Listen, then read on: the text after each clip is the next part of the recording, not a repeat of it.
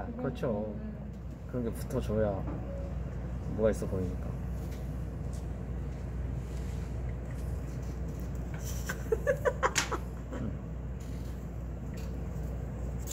내가 붙여놓고 진짜 빵 터진다 이거. 다 그런 거 아니겠습니까?